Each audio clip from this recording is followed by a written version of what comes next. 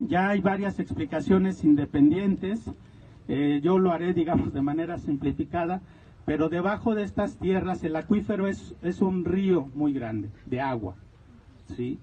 Eh, CNA lo ha declarado que todavía es posible, según los, el último documento que publica en, en diciembre de 2020, habla de que hay eh, disponibles, dicen ellos, 44 hectómetros, o sea, 44 mil y tantos millones de litros de agua disponibles. ¿sí?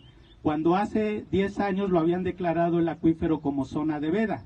¿sí? Entonces, en 2013, con las modificaciones a las leyes este, pues, neoliberales, este, lo, lo vuelven a abrir.